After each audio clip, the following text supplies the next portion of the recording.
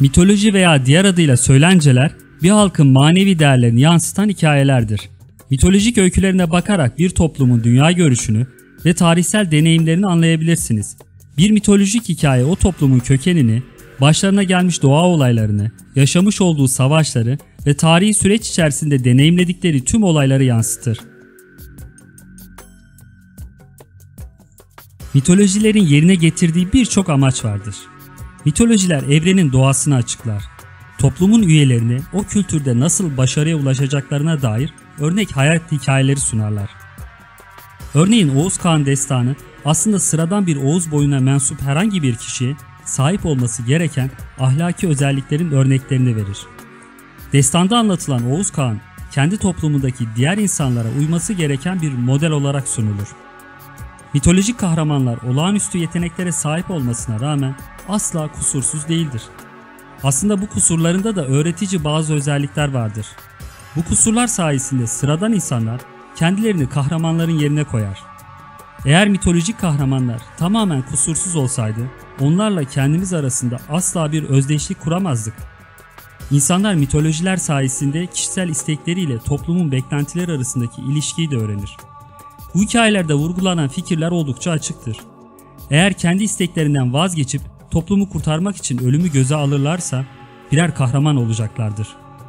Fakat kendi tercihlerini toplumun isteklerinin yerine koyup bencillik ederlerse belki kendi hayatlarını kurtarabilirler ama ün ve şereflerini kaybederler. Mısır mitolojisi Dünyanın en eski ve en zengin mitolojilerinden biri olan Mısır mitolojisi aslında Mısır devlet yönetimindeki iktidarın meşruiyet kaynağıydı. Mısır mitolojisinde insanlar ve tanrılar vardı. Fakat bu ikisi arasında iletişimi sağlayansa firavunlardı. Firavunlar önceleri tanrıların dünyadaki sözcüleri gibiydi.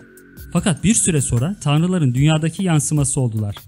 Firavunun etrafında büyük bir ruhban ve memur sınıfı varken Mısır'daki halkın büyük çoğunluğu yönetimde söz sahibi olmayan köylüler ve kölelerdi. Bu büyük topluluk aslında çok büyük oranda ucuz iş gücü demekti. İnternette piramitlerin yapımı ile ilgili günümüzde birçok hurafe bilgi dolaşıyor. Kimi Mısırlıların günümüzde ulaşılmayan bir teknolojiye sahip olduğunu, kimileri ise Mısırlıların uzaylılar tarafından yönetildiğini iddia ediyor. Gerçek olan ise piramitler de dahil Mısır'da yaratılmış tüm yapılar ucuz iş gücü olarak kullanılan köleler sayesindedir. Kendinizi Firavun'un yerine koyun. Emrinizde yüz binlerce köleniz varsa büyük taş bloklarını inşa etmek için uzaylılara neden ihtiyaç duyasınız? Bu işçilerin birçoğu piramitleri inşa ederken ya sakat kalıyor ya da salgın hastalıklar veya iş kazaları yüzünden ölüyordu. Üstelik hiçbiri için tazminat ödemeniz bile gerekmiyordu. Çünkü her savaşta köle sayınız sürekli artıyordu. Mısır mitolojisinin önemli karakterlerinden biri Horus'tur. Horus Firavun'un başı üzerinde koruyucu bir biçimde dolaşan bir şahin olarak tasvir edilir. Bazen de göz olarak tasvir edilirdi. Bu gözün hastalıklara şifa verdiğine inanılırdı. Firavunların mumyalandıktan sonra yeniden doğuş sürecinde şifacı olarak yardımcı olacağına inanılan bir gözdü bu. Burada ilginç bir bilgi aktarayım sizlere. Mumyalama adeti aslında bir tedavi yöntemi olarak ortaya çıkmıştır. İlk firavunlar en meşhur şifacılarından ölüm için bir şifa bulmasını emretmiştir. Firavun öldükten sonra şifacılar ölüyü mumyalamışlar fakat bu tedavi yönteminin asırlar sonra etkisinin olacağına ve ancak o zaman Firavun'un ölüm denen hastalığı yenerek şifa bulacağına yeminler etmişlerdir. İlk önceleri tedavi niyetiyle icat edilen mumyalama adeti, daha sonraları öteki dünyayla ilişkilendiren mitolojik bir ritüele dönüşmüştür. Mısır mitolojisinde bir diğer önemli karakter Mısır'ın baş tanrısı olan Amon-Ra'dır. Amon bir gece insan kılığına girerek ilk firavunun karısını gebe bıraktığına ve dolayısıyla daha sonraki tüm firavunların atasının Amon olduğuna dair bir inanış vardı. Güneşin kendisinin Amon-Ra'nın yansıması olduğuna dair bir düşünce vardı. Amon-Ra her sabah teknesine biner, gökyüzünde bir yolculuk yaparak tekrar ölüler dünyasına gider. Bu anlatı aslında güneşin doğuşunun ve batışının bir tasviridir. Bir diğer Mısır mitolojik varlığı Anubis'tir. Çakal başlı olarak tasvir edilen Anubis, mumyalama işlemlerinde önemli bir figürdür. Çünkü Anubis'in mumyalanan kişilerin ruhlarına öteki dünyada rehberlik ettiğine inanılırdı. Yunan mitolojisi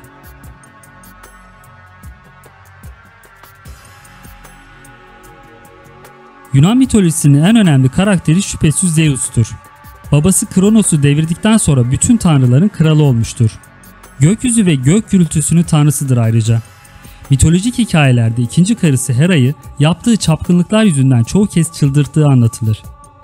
Zeus bu hikayelerde çoğu kez farklı farklı hayvan figürlerine bürünerek kadınları kaçırıp ayartan bir kişi olarak anlatılır. Bu nedenle Zeus'un Herkül'de dahil birçok çocuğu olduğuna inanılırdı. Pandora'nın kutusu deyimiyle hala dilimizde olan Pandora, ilginç bir başka mitolojik varlıktır. Tanrıların ortak çalışmasıyla yaratılan Pandora, dünyaya bir kutu ile gönderilmiştir. Pandora bu kutuyu dünyada açtığında daha önce dünyada olmayan salgınlar ve hastalıklar dünyaya yayılır. Pandora kutuyu aceleyle kapatmasına karşın artık çok geç kalmıştır. Zeus'un erkek kardeşi ve denizlerin yegane koruyucusu Poseidon'dur. Fırtına ve depremler onun öfkesiyle ortaya çıktığına inanılırdı. Kendisi hep üç çatallı zıpkınıyla resmedilir. Apollon, müzik, şifa ve kehanetlerin yaratıcısıdır. Daha sonra defne ağacına dönüştürülmüş olan Daphne'nin biricik sevgilisidir. Güzellik ve aşkın tanrıçası Afrodit'tir. Birçok heykel ve resimde elinde kutsal kuşuyla çıplak bir şekilde tasvir edilir. Aşkı temsil etmesine rağmen oldukça karanlık yönleri olan bir figürdür. Kocasını defalarca diğer tanrılar ve insanlarla aldatmıştır. Bu aşk maceraları çoğu kez ölümle sonuçlanan hikayelerdir. Viking mitolojisi Viking mitolojisinin en önemli karakteri şüphesiz Odin'dir. Etrafında haberci kuzgunları ile tasvir edilen Odin bir savaş tanrısıydı. Odin gözünün birini kaybetmiş bir tanrıdır. Anlatıya göre Odin bir gün bilgelik kuyusunu aramaya koyulur. Bu kuyuyu bulduğunda kuyunun koruyucusu bu sudan içebilmesi için Odin'den bir fedakarlık yapmasını ister. Odin de bilgelik kuyusundan suyu içebilmek için tek gözünü çıkarıp bu koruyucuya verir. Bu hikaye bilgeliğe ulaşmak için fedakarlığın önemine vurgu yapar. Viking mitolojisinde Odin kadar gök gürülmesinin tanrısı olan Thor da önemli bir karakterdir. Thor elinde çekiciyle hayal edilirdi. Hint mitolojisi Dünyadaki en şanslı mitoloji şüphesiz Hint mitolojisidir. Halen Hindistan'da birçok din sayesinde canlılığını korumaktadır. Hint mitolojisinin en önemli karakterlerinden biri Indra'dır. Baş tanrı olan Indra'ya Hindistan'da hala tapılmakta ve çeşitli şenliklerde anılmaktadır. Kendisi çok güçlü bir tanrı olmasına karşın sarhoş edici özelliğiyle tanınan Soma adlı içkiye oldukça düşkündür. Hint mitolojisinde bir diğer önemli varlık Kali ve Durga'dır. Bu iki kadın tanrıçadan biri olan Kali genellikle mavi renkte tasvir edilir ve çok kolludur. Bugün Hindistan'da çok kollu doğan insan ve hayvanların kutsal sayılmalarının nedeni Kali'den gelmektedir. Hint mitolojisinde avatarlık önemli bir kavramdır. Mitolojiye göre Tanrı Krishna, dünya üzerine inek bedenini avatar olarak kullanarak gelmiştir. Tekrar kendi evrenine gittiğinde avatar olarak kullandığı inekte kutsal ruhtan bazı parçalar kalmıştır. Bu nedenle günümüzde Hindistan'da inekler kutsal kabul edilir.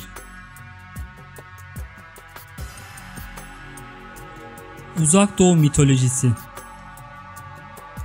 Uzak Doğu mitolojisinin en önemli unsurlarından biri Yin ve Yang'tır. Dünyadaki tüm zıtlıkların bir temsilidir aslında. İyi kötü, güzel çirkin, doğum ölüm, dişi erkek, ateş su birer Yin ve Yang'tır. Evrende düzen bu zıtlıkların uyumuyla meydana gelir.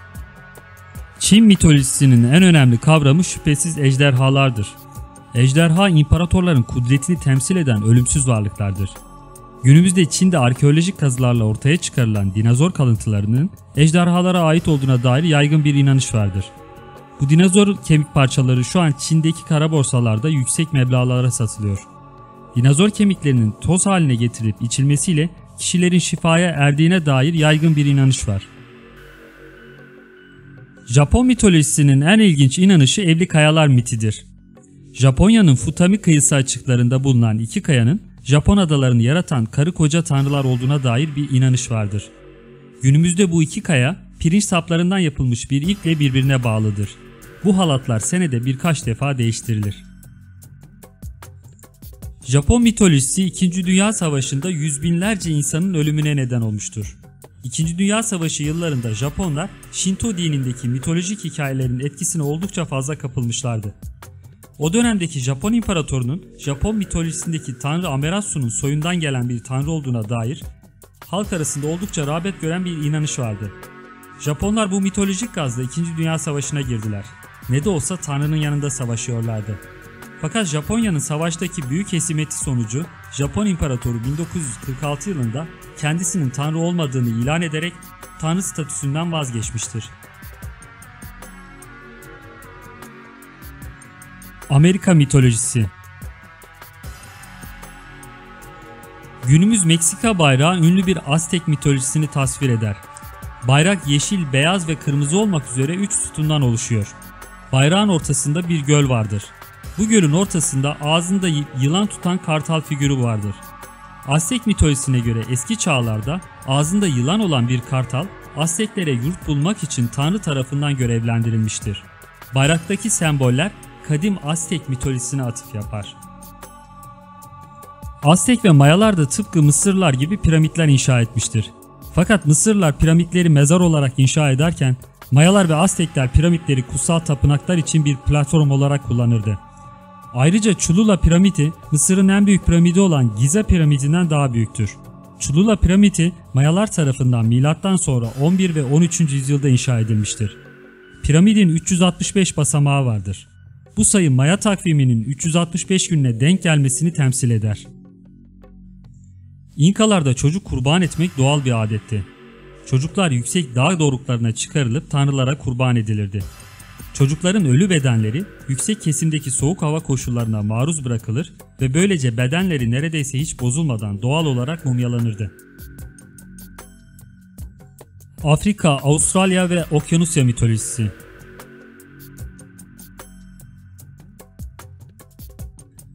Afrika mitolojisinin en önemli kavramı animizmdir. Animizmde doğanın her yerinin ruhlarla dolu olduğuna inanılır. Ağaçların, nehirlerin ve taşların yani tüm doğanın can taşıdığına inanılır. Doğadaki ruhları temsilen totemler, fetişler ve maskeler yapılır. Fetiş kutsal bir gücü taşıdığına inanılan heykel, taş veya tahta parçasıdır. Dualarda kullanılır. Fetişlerin bulunduğu mekanlardaki kötü ruhları kovduğuna dair bir inanış vardır. Dünyanın en ilginç ve en talihsiz adalarından biri Paskalya Adası'dır. Bu adada Moai adı verilen ve yaklaşık olarak binden fazla tahta ve taş heykel vardır. Adanın ilk yerlileri için doğal kaynaklar ve tabiat yeterliydi. Fakat nüfus giderek artmaya ve ada koşulları giderek zorlaşmaya başladı. Kaynaklar azaldıkça tanrılara durumun bildirilmesi için ada yerlileri taş ve tahta heykeller yapıp tanrıları hoşnut etmeye çalıştılar. Fakat bu heykel yapma yarışı adanın doğal kaynaklarının daha fazla bitmesine neden oldu. Örneğin normal şartlarda 100 sene yetmesi gereken kaynaklar heykel yapma yarışı nedeniyle 15-20 senede tükendi.